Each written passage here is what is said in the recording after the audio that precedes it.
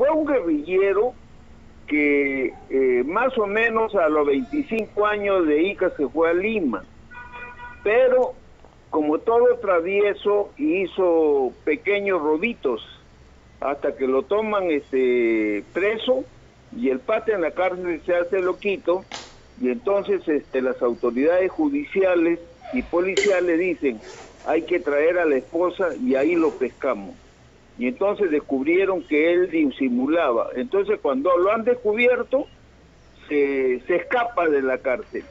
Y escucha, él conocía a los patriotas de Lima, lo llevan a donde Francisco Javier Mariátegui, que ha hecho esas anotaciones a la historia del Perú Independiente de Paz Soldán. Ahí él informa que lo llevan ante José de San Martín, la hipótesis es que eh, o San Martín está de Lima o lo llevan a Guaura. Y entonces San Martín, él le dice, pues sí, yo he cometido este error, pero quiero servir a mi parte, estoy arrepentido. Y San Martín, ¿qué hace? Ya, forma tu guerrilla y te voy a dar armas. Y compadre, fue uno de los mejores guerrilleros subestimados, maldecidos eh, por los españoles, porque los españoles le pusieron montonero. Montonero es el montón. Pero eh, eh, mira, solamente un minuto.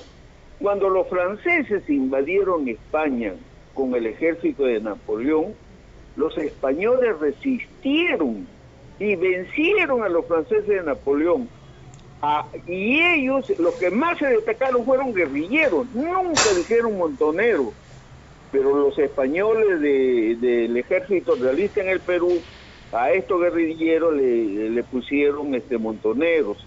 Ahora, ¿cuál fue el impacto de estos guerrilleros?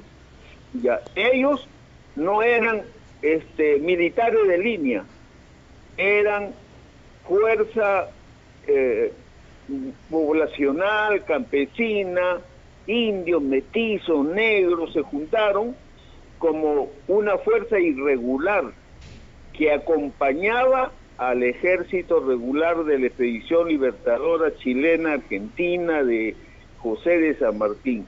José de San Martín los apoyó, reconoció su aporte y ellos derrotaron en muchas batallas a los españoles, compadre. Pero como así como inicia victoriosamente, el problema es cuando San Martín se, se retira.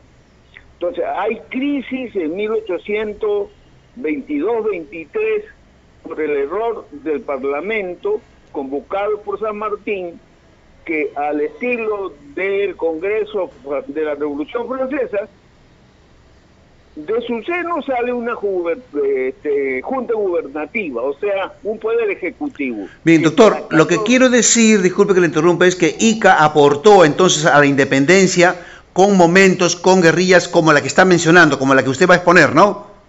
Ya, claro, pero además de Cayetano Quiroz, este, Chincha, que pertenecía a Cañete, Ica eh, que estaba constituida por Pisco, Ica, Palpa, Nazca, todos eran guerrilleros. Hay un libro de seis, eh, eh, mi profesora Ela Dunbar Temple, en la colección documental de de la Independencia del Perú, publicado en el gobierno de Velasco, ella investigó y le publicaron seis tomos sobre los... Ella llama, claro, guerrilleros y montoneros del Perú. Y ¿Qué pasa? Incita la, a, a, los guerrilleros de lo que hoy es el departamento de Ica, compadre. Y eso poco se ha estudiado. Yo lo he adelantado en algunos libros que he publicado sobre la independencia del Perú, pero este de Cayetano Quirós, mira, eran como este, en el gobierno de San Martín, cuando él era ya protector, numeran la cantidad de guerrillas, llegan hasta la 46. Luego la ranquean y consideran a la guerrilla, escucha bien, de Cayetano Quiroz y de su esposo como la primera y la mejor. incluso reconocida por los españoles. Está en la fuente española que uno de los mejores guerrilleros era Cayetano Quirós.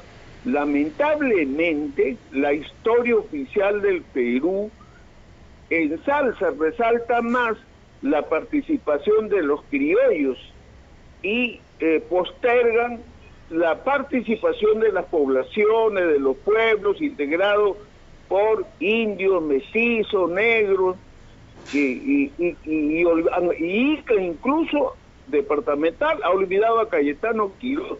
Y otra cosa, la esposa era parte de la guerrilla de Cayetano Quiroz y eh, eh, a, ella la matan como consecuencia de un error de correspondencia de María Parada de Bellido, que en plena guerrilla en el centro donde estaba Cayetano Quiroz, capturan la carta de María Parada de Bellido dirigida al marido y al hijo que integraban la guerrilla de Cayetano Quiroz y por eso persiguen a Cayetano Quiroz y, lo derrotan y lo capturan en la puntilla en Pisco y él quiere huir al mar prefiriendo ahogarse y los españoles lo, lo capturan, le hacen un juicio sumario en Ica y lo fusilan mañana, un 5 de mayo, que de 1822, que se que conmemora su